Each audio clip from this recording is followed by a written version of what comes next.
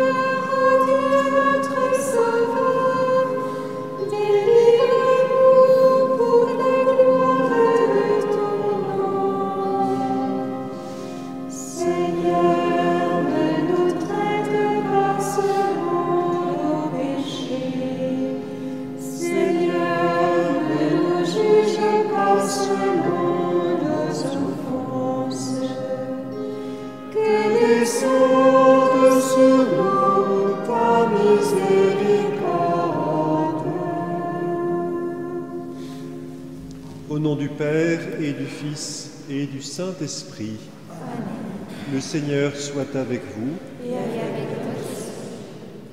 Ce matin, nous nous unissons à la prière d'action de grâce de Christiane et Jean-Yves Yanucci.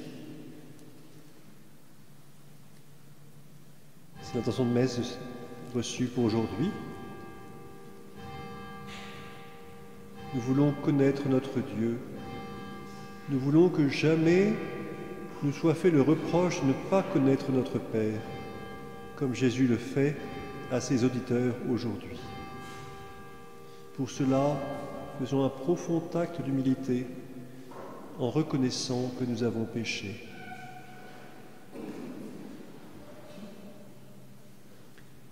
Je confesse à Dieu Tout-Puissant, je reconnais devant vous, frères et sœurs, que j'ai péché en pensée, en parole, par action et par omission.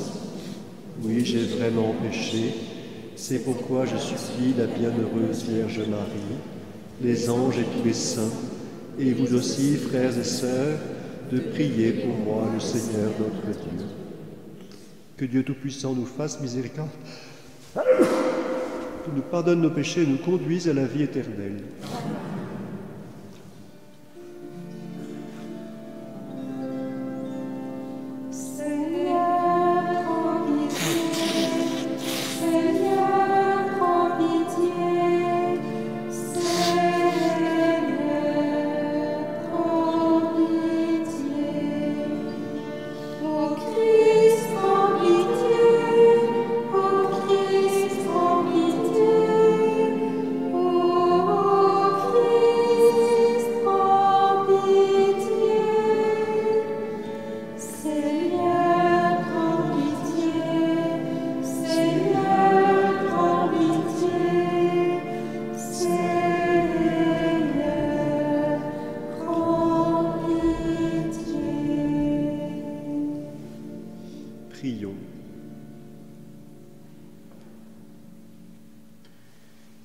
Seigneur Dieu, tu as préparé les secours dont notre faiblesse a besoin. Donne-nous d'accueillir avec joie notre relèvement et d'en témoigner par la fidélité de notre vie, par Jésus-Christ, ton Fils, notre Seigneur, qui vit et règne avec toi dans l'unité du Saint-Esprit, Dieu pour les siècles des siècles.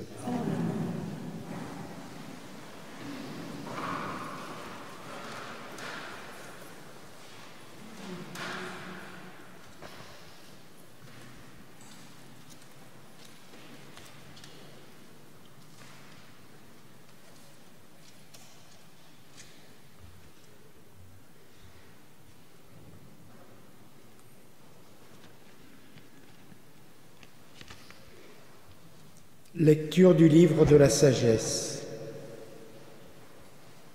Les impies ne sont pas dans la vérité lorsqu'ils raisonnent ainsi en eux-mêmes.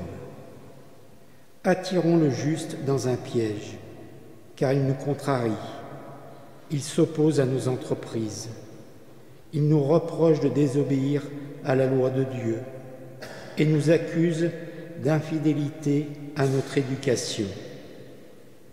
Il prétend posséder la connaissance de Dieu et se nomme lui-même enfant du Seigneur. Il est un démenti pour nos idées.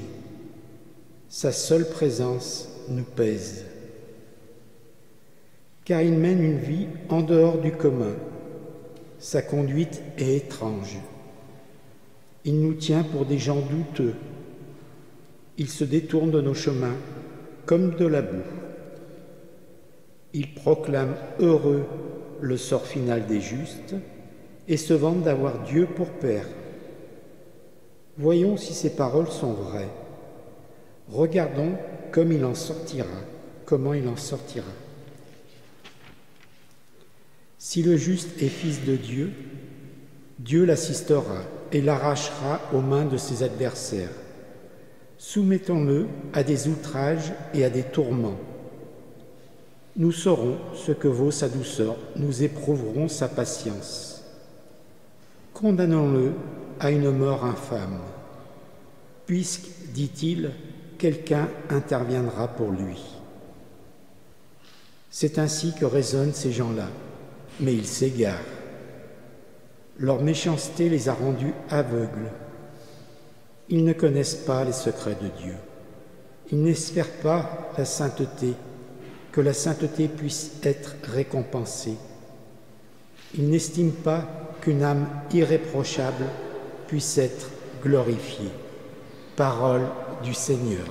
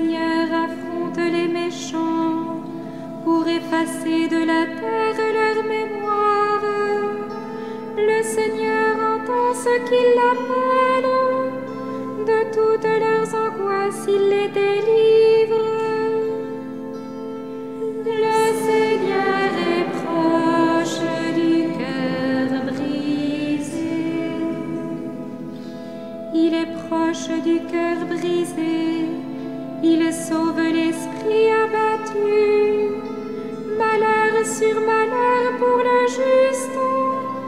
Mais le Seigneur chaque fois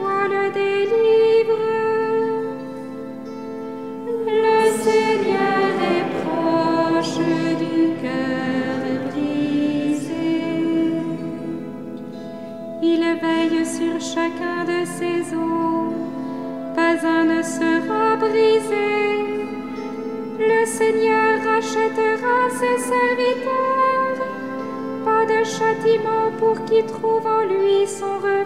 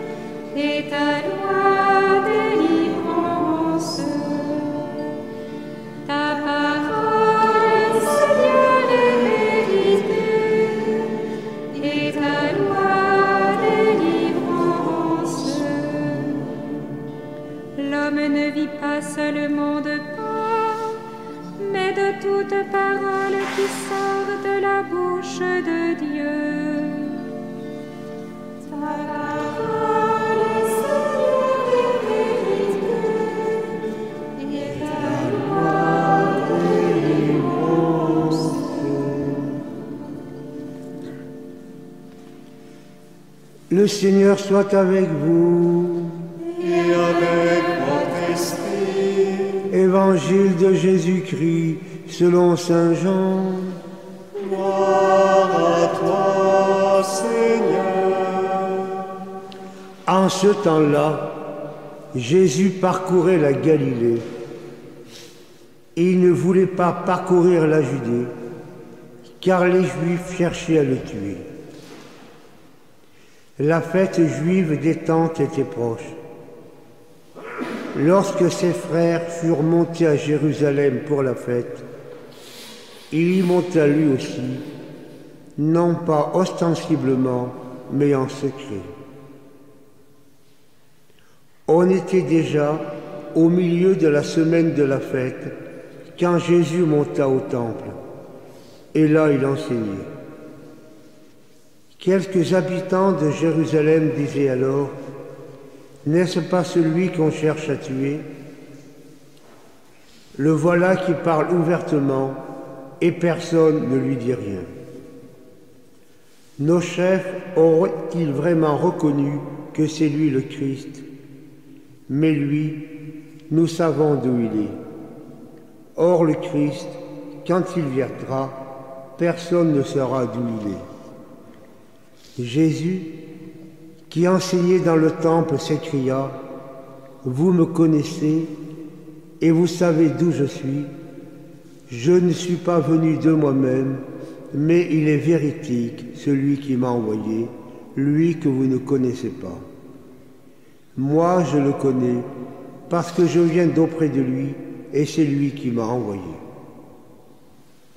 On cherchait à l'arrêter, mais personne ne mit la main sur lui, parce que son heure n'était pas encore venue. Acclamons la parole de Dieu.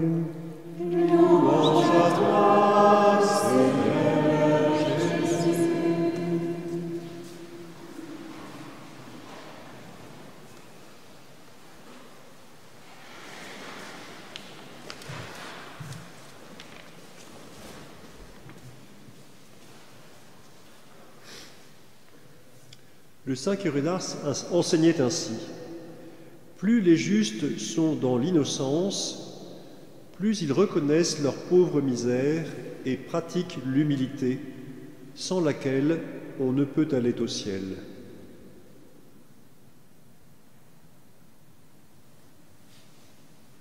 Avez-vous entendu cette parole du Christ? Je ne suis pas venu de moi-même, mais il est véridique celui qui m'a envoyé, lui que vous ne connaissez pas. Voilà une accusation terrible. Vous ne connaissez pas celui qui m'a envoyé. Vous ne connaissez pas votre Dieu. Vous ne connaissez pas votre Père. Il ne dit pas, vous ne connaissez pas Dieu comme moi je le connais. Mais il dit tout, tout simplement, vous ne le connaissez pas. Et pourtant, Jésus s'adresse à des juifs pieux qui sont venus en pèlerinage à Jérusalem, qui l'écoutent dans le temple.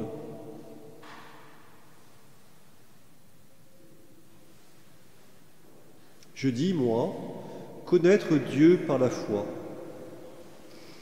Je crois que celui que je rencontrerai après ma mort, je le reconnaîtrai, c'est-à-dire que je le connais déjà par la grâce, par la foi, et je le connaîtrai alors parfaitement en plénitude. Mais si en fait je me leurrais, je m'illusionnais comme les interlocuteurs du Christ, si en fait Jésus pouvait me dire vous ne le connaissez pas. Comment sortir d'une telle illusion? Comment être sûr de connaître Dieu? Pour cela, prenons cette première lecture qui nous est donnée.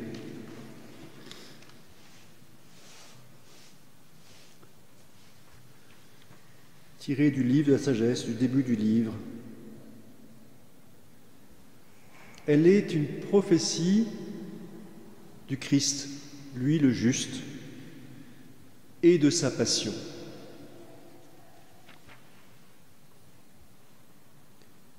Soumettons-le à des outrages et à des tourments. Nous serons ce que vaut sa douceur, nous éprouverons sa patience. Condamnons-le à une mort infâme, puisque, dit-il, quelqu'un interviendra pour lui. C'est bien ce qui se passera sur la croix, quand les chefs des prêtres diront qu'il se sauve lui-même s'il est le Messie de Dieu.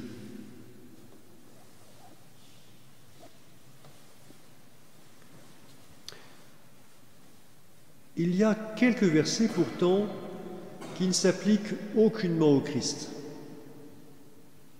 Attention, tout, ce qui est dit là ce sont les accusations des ennemis de Dieu qui accusent le juste.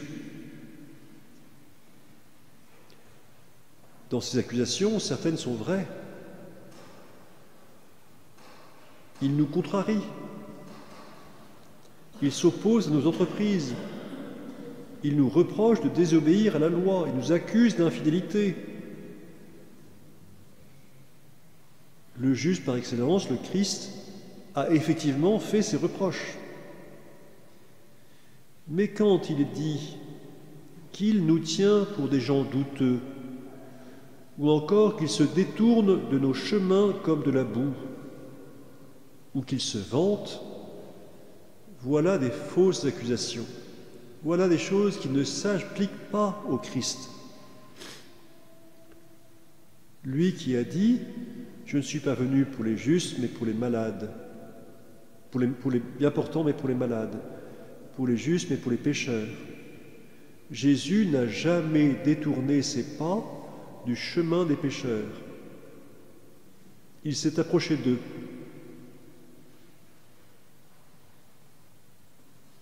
Ce sont certains pécheurs qui le, tiennent, à distance, par orgueil. Le Christ, le Saint des Saints, le seul juste, est humble. Son humilité est ce qui lui permet de s'approcher de nous qui sommes pécheurs.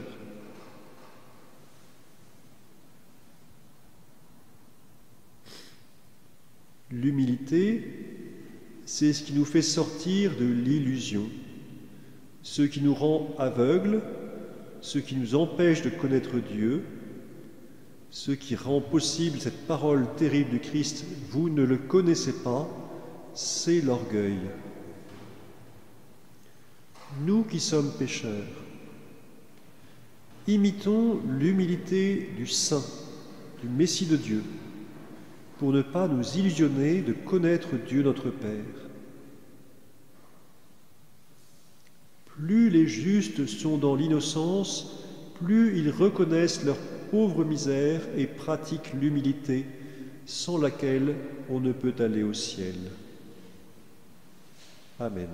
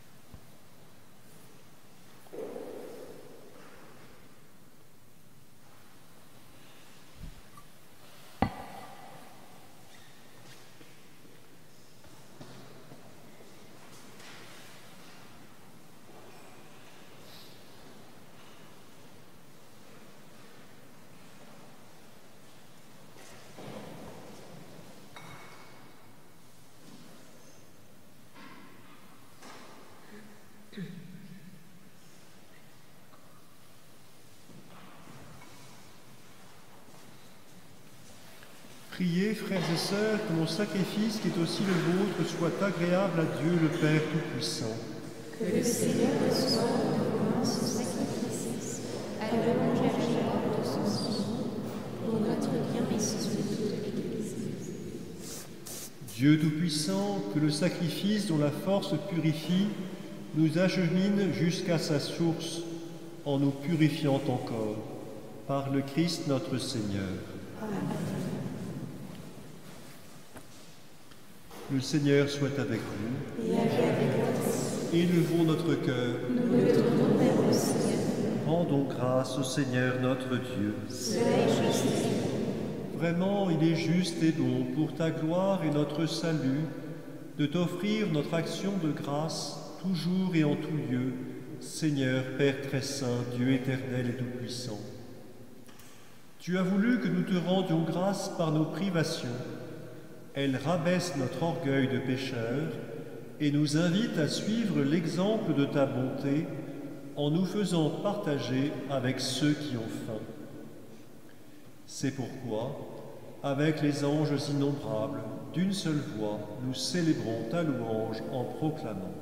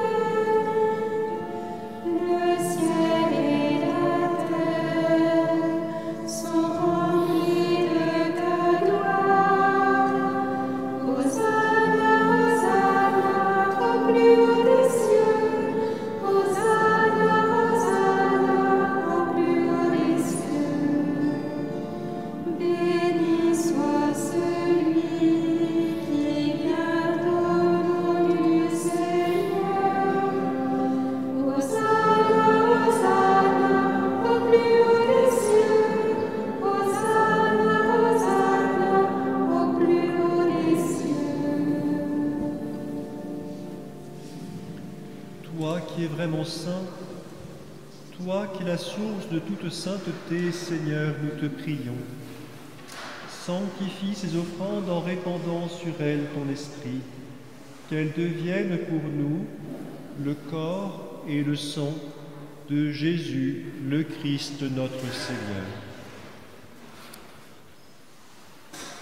Au moment d'être livré et d'entrer librement dans sa passion, il prit le pain. Il rendit grâce, il le rompit et le donna à ses disciples en disant, Prenez et mangez-en tous, ceci est mon corps livré pour vous.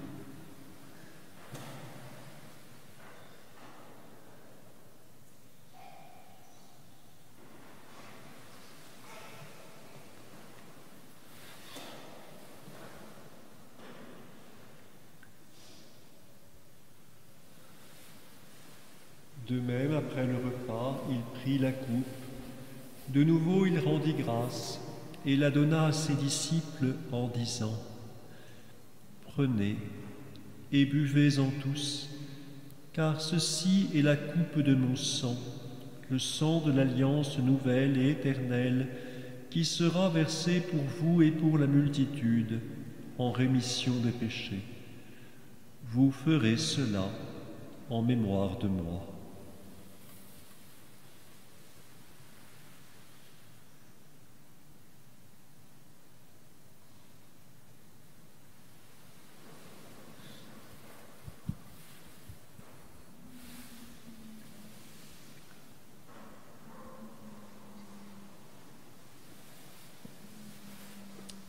Il est grand le mystère de la foi. Nous confessons ta mort, Seigneur Jésus. Nous proclamons ta résurrection. Nous attendons ta venue dans la gloire. En faisant ainsi mémoire de la mort et de la résurrection de ton Fils, nous t'offrons, Seigneur, le pain de la vie et la coupe du salut, et nous te rendons grâce car tu nous as estimés dignes de nous tenir devant toi pour te servir humblement, nous te demandons qu'en ayant part au corps et au sang du Christ, nous soyons rassemblés par l'Esprit Saint en un seul corps. Souviens-toi, Seigneur, de ton Église répandue à travers le monde. Fais-la grandir dans ta charité, en union avec notre pape François, notre évêque Pascal et tous les évêques, les prêtres et les diacres. Souviens-toi aussi de nos frères et sœurs qui se sont endormis dans l'espérance de la résurrection, et souviens-toi dans ta miséricorde de tous les défunts. Accueille-les dans la lumière de ton visage. Sur nous tous, enfin, nous implorons ta bonté. Permets qu'avec la Vierge Marie, la bienheureuse Mère de Dieu, avec Saint Joseph, son époux, les apôtres et tous les saints qui ont fait ta joie au long des âges, nous ayons part à la vie éternelle et que nous chantions ta louange et ta gloire par ton Fils Jésus le Christ.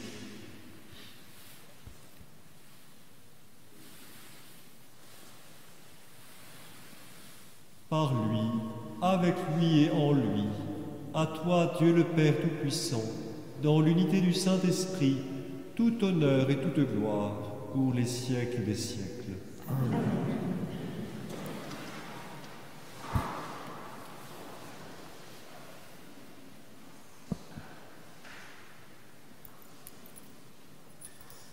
Comme nous l'avons appris du Sauveur et selon son commandement, nous osons dire, Notre Père qui es aux cieux, que ton nom soit sanctifié, que ton règne vienne, que ta volonté soit faite sur la terre comme au ciel.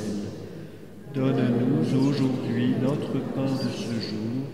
Pardonne-nous nos offenses, comme nous pardonnons aussi à ceux qui nous ont offensés et ne nous laisse pas entrer en tentation, mais délivre-nous du mal. Délivre-nous de tout mal, Seigneur, et donne la paix de notre temps. Soutenus par ta miséricorde, nous serons libérés de tout péché, à l'abri de toute épreuve, nous qui attendons que se réalise cette bienheureuse espérance, l'avènement de Jésus-Christ notre Sauveur.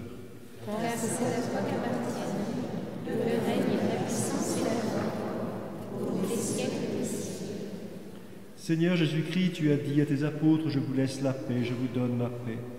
Ne regarde pas nos péchés, mais la foi de ton Église. Pour que ta volonté s'accomplisse, donne-lui toujours cette paix et conduis-la vers l'unité parfaite, toi qui vis et règnes pour les siècles des siècles. Amen. Que la paix du Seigneur soit toujours avec vous. Et avec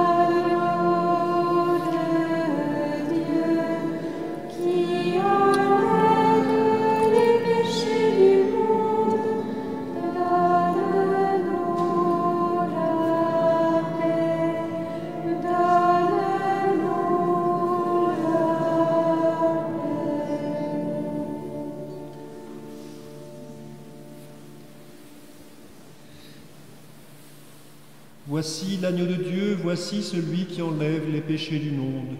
Heureux les invités au repas des noces de l'agneau. Seigneur, je ne suis pas digne de te recevoir, mais dis seulement une parole et je serai guéri.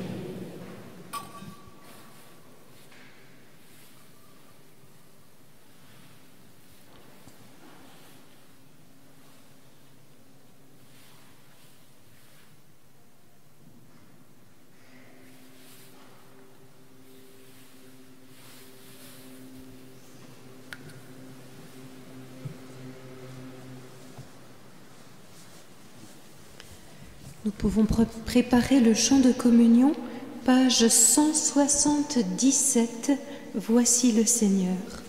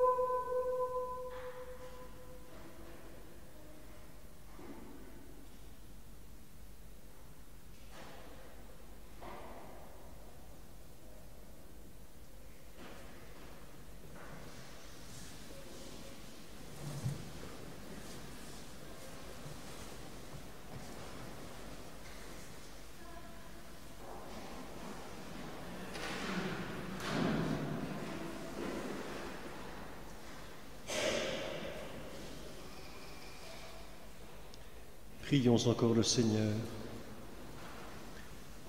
Nous t'en prions, Seigneur, nous qui avons passé vers ce qui est nouveau, nous qui allons passer du passé vers ce qui est nouveau, tandis que nous quittons ce qui ne peut que vieillir, mets en nous un esprit de renouveau et de sainteté par le Christ notre Seigneur. Amen.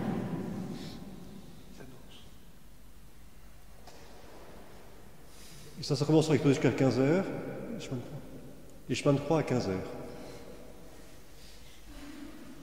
Inclinez-vous pour recevoir la bénédiction. Tourne ton regard, Seigneur, vers ceux qui te servent. Ils se confient en ta miséricorde, que dans ta bienveillance, accorde-leur la protection de ton secours par le Christ notre Seigneur.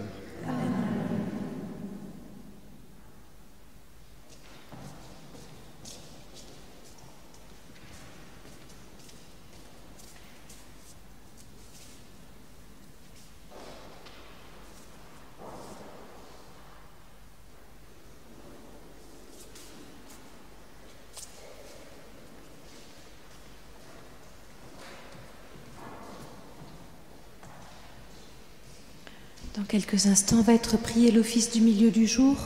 Notez aussi que ce soir, nous rentrons dans la solennité de l'Annonciation et nous prierons l'office des lectures à 20h30 ici même.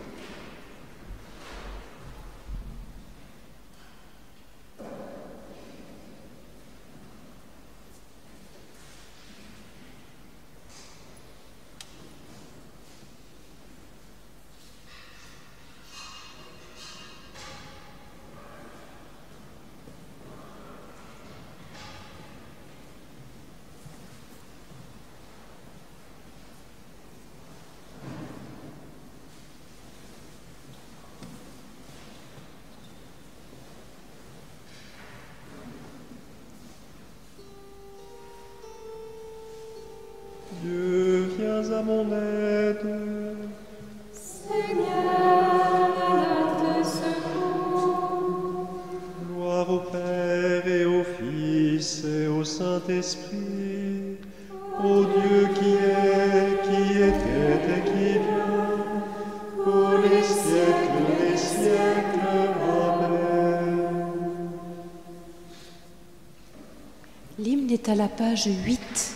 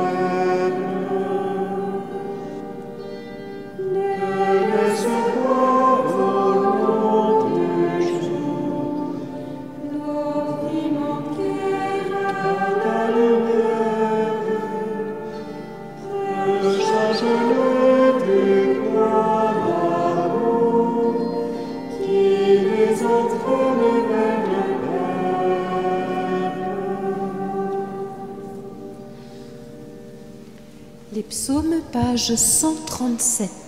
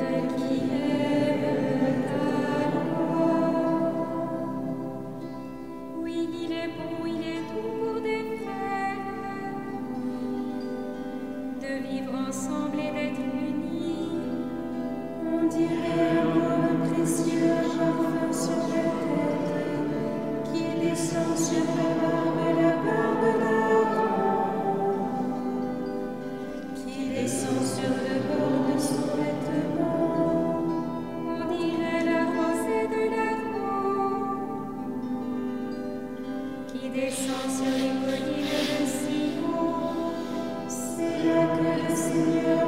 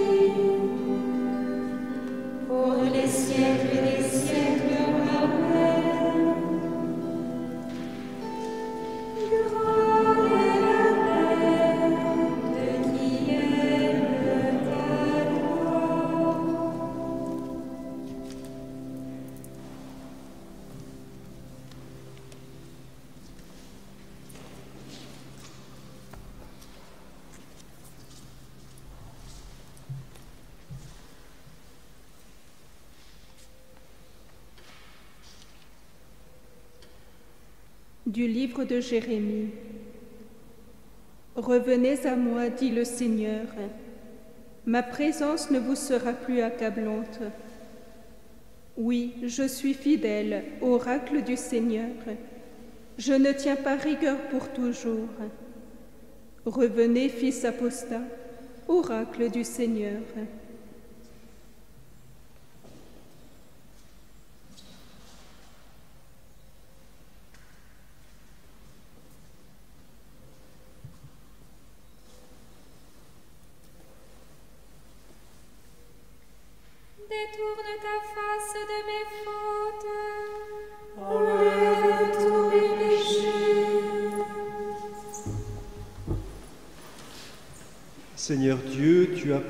Les secours dont notre faiblesse a besoin.